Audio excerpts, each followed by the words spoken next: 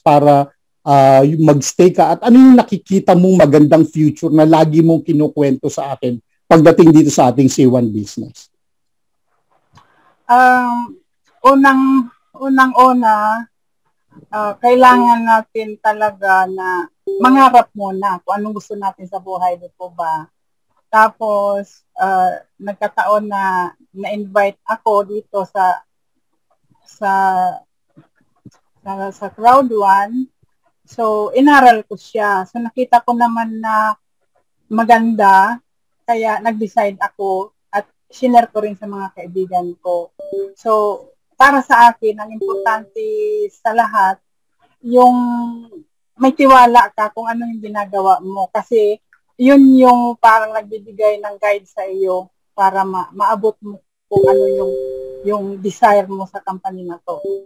So, sa umpisa may kahirapan, pero kung alam mo talaga na na, na naintindihan mo yung yung galaw ng negosyo natin, uh, mas mas maganda kung mananatili na lang po tayo sa sa negosyo na to.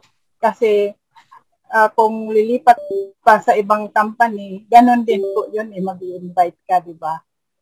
So, nandito na. So, umpisahan na natin. So, simple lang naman pa ang ang ang grupo ko uh, hindi mo masabing talagang talagang focus ng hosto. Although, yun naman talaga ano, pero parang ginagawa lang namin ano, parang barkadahan. Kasi pag pag ang mga kagrupo mo is mga ka-close mo, kahit saan kayo magpunta, mabilis po kayo na makaangat. At saka ang number one doon, tulungan po talaga. Hindi pwede yung uh, nandyan ka na, So, hindi mo lilingon, hindi mo akayin yung mga in-invite mo. Kasi once na mag-invite po tayo dito sa crowd one, uh, parang obligasyon nyo na rin po yung mga na-invite niyo na turuan, lalo na yung mga uh, hindi agad na intindihan para hindi sila mag-isip na na uh, yung yung kasi madalas po tayo na i-compare doon sa mga traditional dahil sanay po ang mga members na mga tao na mag-member ka ngayon, mayroon kang kita mamaya, di ba? Kasi sa, sa binta-binta. So, ang sa akin naman, doon ako nag-focus na ipaintindi sa kanila kung ano ba yung sistema ng negosyo para sa ganon hindi sila laging nag, nag naghihintay ng income. Na naiintindihan nila na yung ating negosyo is parang nagtatanim muna tayo.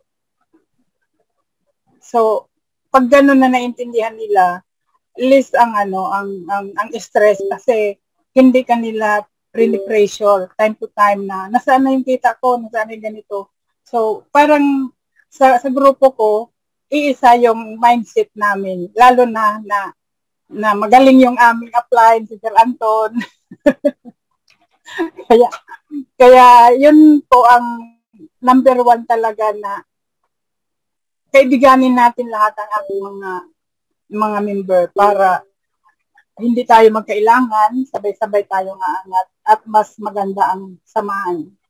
Kaya isa din ako na humanga kay Mambet kasi ang galing-galing mag-present. Hindi ko magaya yun. Thank you, Mambet, ha, kasi dahil sa na, na, na ano ka rin namin na napakisuyuan nung umuwi ako sa Pilipinas. So, yun lang po sa ngayon kasi hindi ko rin naman talaga inaasahan na tawagin Kaya wala po akong masyadong ano. Basta yun lang po masasabi ko.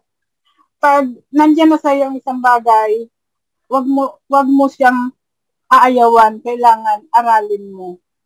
Aralin mo at kilalanin mo kung gaano katatag yung ating company, ano ba ang magiging benefits natin dito. So kami po ay naniniwala na may future talaga tayo dito sa sa crowd one.